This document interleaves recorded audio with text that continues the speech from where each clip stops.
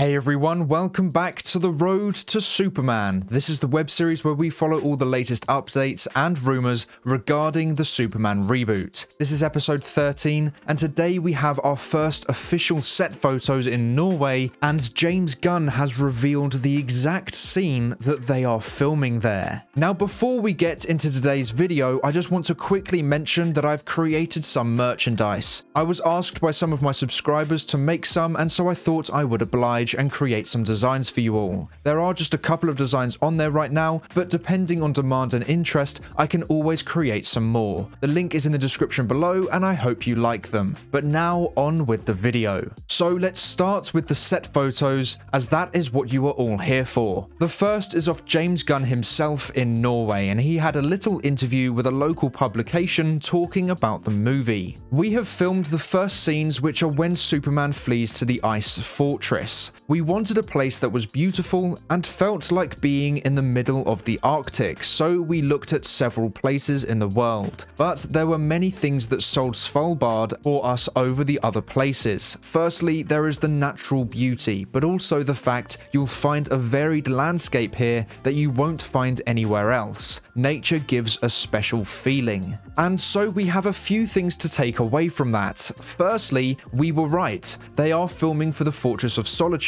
which made a lot of sense as Norway looked like an ideal location for the fortress to be set in, and Gunn emphasized that in his interview. But what is interesting is Gunn says Superman flees to the Fortress of Solitude. Now this could just be a misinterpretation by the Norwegian journalist, and Gunn actually meant flies to the Fortress of Solitude, and that could be backed up by the journalist saying Gunn said Ice Fortress, which is a strange way of describing it. But let's just say he actually meant fleeing to the Fortress of Solitude. Well, that means he was in some form of danger before this scene. Now, this is strange because Superman is so powerful, so he must have been overwhelmed by someone or multiple people who were very powerful. Now, what is interesting is when the Superman crest was announced, James Gunn and David Corenswet joked around in the comments about wanting to share a video of David rolling around in the snow in his swimming trunks, and Maria De Faria, who was playing the engineer, said she wanted to see that video too, but then also said she wanted to see her own video of doing the same thing, which means she is in the same location as the two of them, which means the engineer is also at the Fortress of Solitude. Now this is strange because this location is supposed to be a secret, so Superman must have brought her there. And if we use that assumption with what Gunn may have said in that interview, maybe Superman flees to the fortress because the engineer is severely injured and only the technology in the Fortress of Solitude can help her. Now there is a theory out there that I think originated from Boba Talks, who has a great YouTube channel, where he said he thinks the DCU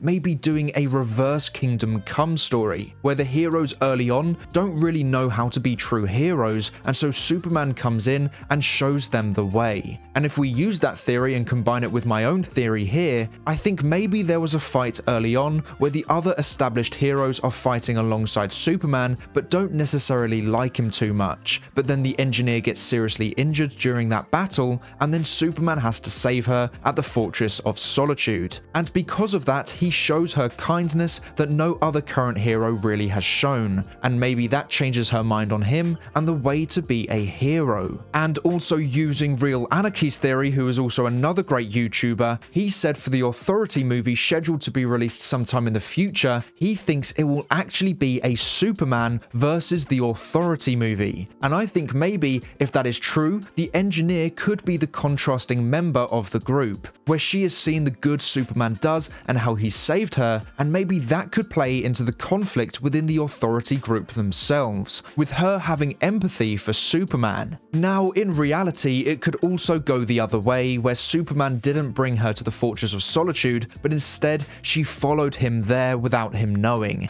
and that also plays into either the rest of the Superman movie or the Authority movie. She could have found his home that could be used against Superman if the Authority movie is actually Superman versus the Authority. And what gives Real Anarchy's theory even more evidence for it being true is that in the comic, Superman has the same crest design as Gunn's Superman does, but obviously with the black instead of the gold, which also plays into Boba Talk's theory that this will be a reverse version of the Kingdom Come storyline. And can I just say, it is so fun being able to theorize about what this movie will do and what it means for the future. One major thing lacking from the DCEU was the theorizing of what happens next, because they didn't have a plan, they just made random movies. But with the DCU, it feels different. It's nice to be excited for more than just this one movie and be able to theorize not only what happens in Superman, but what it could mean next in the DCU story. So let me know what you think of my theory as to why the engineer is with Superman at the Fortress of Solitude, as well as letting me know what you think about Boba Talks' and Real Anarchy's theories about the Reverse Kingdom Come storyline and the Superman vs. the Authority movie. Those are some really interesting theories. But now onto the second half of Gunn's words from that interview. He says, We wanted a place that was beautiful and felt like being in the middle of the Arctic, so we looked at several places in the world. But there were many things that sold Svalbard for us over the other places. Firstly, there is the natural beauty, but also the fact that you'll find a varied landscape here that you won't find anywhere else. Nature gives a special feeling. And I really like the sound of that. I've said this before, but I miss movies feeling real. Recently, I've felt that many movies feel too fake with everything being filmed on green screen, so I'm really glad Gunn is using real locations. I love him saying nature gives a special feeling, because it really does. It won't feel artificial, and I love when they mix real locations with CGI because it makes the CGI feel far more real. So I'm glad he's decided to use large practical sets and real locations for Superman. It's also a really smart move in terms of helping the VFX department. Having to spend less time on shots they could actually create practically means they can spend more time on shots that really need their time, like flight scenes or action scenes. Those are the sequences that really need to be top notch to sell the realism of the movie.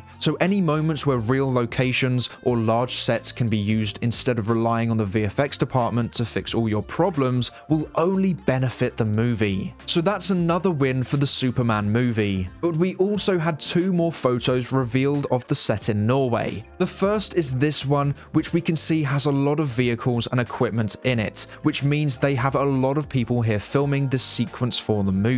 Which is normal, but it could indicate the size of the scene they are filming. But let's look at the terrain in the background. It's a very mountainous area, which I think is due to them wanting to hide the Fortress of Solitude in plain sight, because from a distance, I imagine it could just look like a random mountain, but when you go close up, you can see it definitely isn't a mountain. And now if we look at the second photo from the set, we can see these huge fans, and I think these are here for only one reason.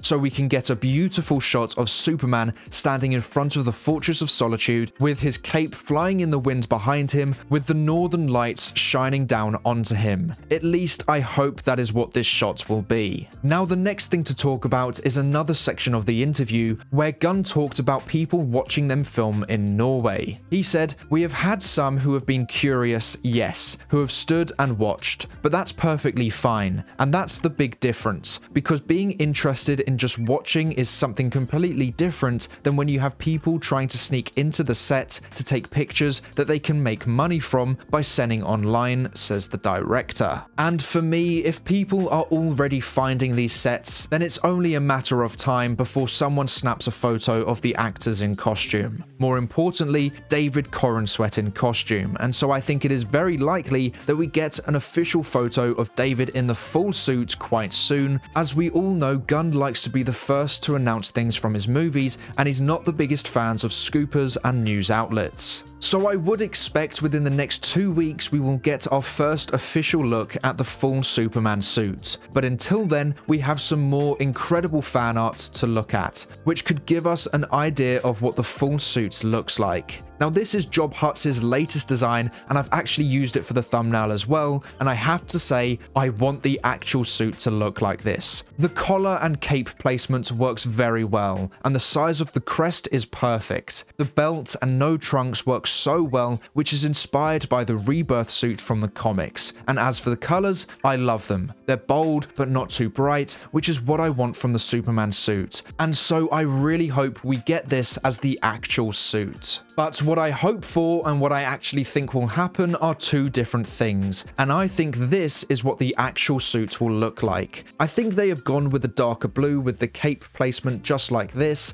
and I think it will have the more modern belt, but with the trunks, and for me, once you see the costume without trunks, it makes the design with trunks look even worse. I think Gunn is trying to blend all eras together with this suit. At least that's the indication I have got from the crest design. The yellow being the base of the crest is from the first ever comic design, the S shape is inspired by Kingdom Come, the colors are inspired by the classic suit, and the texture is inspired by more modern designs. And so I think the rest of the suit will be a mix of eras too. So the modern texture with more classic colors, with a modern belt, but with classic trunks, which I guess is best to unite as many people together, but we won't go on about the trunks again today. So let me know what you think about these two designs in the comments below. The next thing to talk about is actually a bit of bad news. Gunn has confirmed he won't be at Comic Con this year, which isn't good news as it means there probably won't be a DCU panel unless Peter Safran hosts it and James Gunn maybe does a pre-recorded video for the audience. He has confirmed that he will still be shooting Superman when Comic Con happens this year, which is in July. So the movie will still be filming in four months time. But so does this mean we won't be getting any DCU updates through a huge event like Comic Con this year? Unfortunately, that's what it looks like. David Zaslav said in the coming months, Gunn will reveal more information on their upcoming 10 year plan, and when someone asked if Gunn would do that through Comic Con or a live video, Gunn asked if those are the only two options. Now, my hope is that he is implying that DC fandom is coming back. That was a time that I loved, and I think it was such an incredible way of allowing fans from all across the globe to come together and be excited for DC at the same time. So I really hope they bring that back, as that would definitely be another way of firstly making the fandom feel more united, but also making them feel more unique to Marvel. Having their own special events for just DC News would be amazing, and they could even rebrand it if Gunn wanted to. It doesn't have to be called DC Fandom, it could be called DC Con or something much better than that. Either way, I think most DC fans would be up for DC fandom coming back. It would get DC trending on social media a lot, and all the news outlets would be focused on DC only. I think it has to come back, and I really hope that is what Gunn is alluding to. Maybe even make it a physical, real event that fans can go to, but then it is also live streamed to fans all around the world for maybe like $10 entry. That way, they could make more money from it too. This is all just me thinking out loud, but all I know is that I want DC fandom to come back. But let me know if you want the event to come back too in the comments below. Now, the final update of today's longer episode is that James Gunn has confirmed that Wendell Pierce will be Perry White in the DCU. And just from reading the comments from my previous Roads to Superman video, it is very clear that everyone is very happy with this casting. So I am glad they have made it official. I do have one final thing I want to talk about. Do you like the longer videos? This video is a lot longer than normal, so I want to know if you like that I take more time with each piece of information in this episode, and if you want that in future videos too. Or do you like me talking through the news as quick as possible, or the pace I normally take? I'm currently trying to make improvements to my channel to make it more engaging to my current viewers and potential viewers, so any advice would be greatly appreciated. But that is all for today's video. Thank you so much for watching. Please make sure to like and subscribe and turn on notifications so you never miss a video. I hope to see you here again soon, so until then, have a great day. Bye!